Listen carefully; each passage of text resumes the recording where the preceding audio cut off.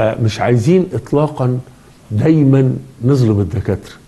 مش عايزين ال- النغمة دي. ليه؟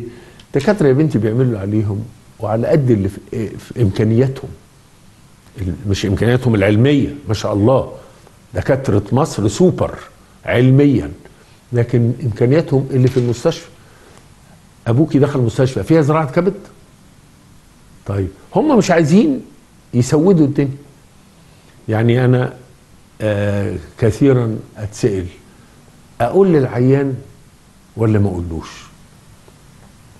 كنت دايما في حيرة والله دايما في حيرة. عيان عنده سرطان وسرطان انتشر وعايز علاج كيماوي. أقول لأهله ولا أقول له؟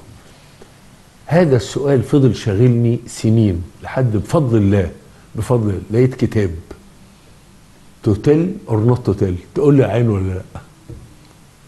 300 صفحه 300 صفحه ماسك مرض مرض. عيان سرطان المعدة. تقول له ولا لأ؟ وتقول له إزاي؟ قريته كله. دلوقتي ثقافتنا في إن إحنا نكلم العيان اتغيرت. لو انت تلاحظي الأيام دي غير زمان. فدلوقتي الثقافة اتغيرت. عشان كده جايز جدا الدكاترة اللي قابلتيهم من مدرسة عدم القول. مش هقول لك خليها كده إحنا هن يعني هن نحاول كده وبتاع وبتاع. نلتقي بعد الفاصل إن شاء الله.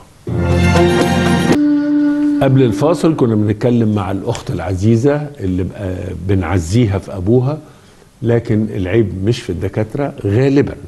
طبعا إن أنا أقطع بحاجة ما شفتهاش. ما يصحش. لكن المنظر اللي بتقوله بالأعراض اللي قالتها فشل كبدي كلوي مش كبدي وكلوي لا. آه، ده مش حلو وملوش حل. أعز الناس عندي أعز الناس. ابن عمي ابن عمي شقيق. أعز واحد يعني حبي له ما- ملوش حل ولا هو حبه ليا. هو في المنصورة وأنا في مصر لكن لا يمكن يعدي يوم إلا لما نتكلم. توفى بايه فشل كبدي كلوي طب أنا مش هعمل له حاجة؟ ما قدرناش نعمل له حاجة. سنه 73 سنة ما ينفعش فيه زراعة الك- الكبد وتوفى إلى رحمة الله.